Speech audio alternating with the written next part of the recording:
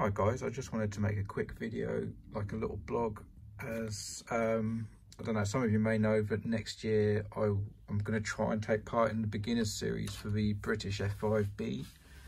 So I had to take my Taranis apart anyway to fix an aileron spring in the gimbal that broke. So I thought at the same time I'll add my uh, momentary switch. So I've just added one in the back here and it literally just um, piggybacks off of the original so they both do the same operation. So there it is, this little push button. So I'll be able to push that button for the throttle to come on.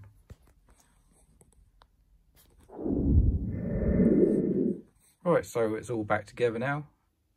Um, the switch down here, SH, is the momentary switch. So if I just flick the old normal one, see it changing.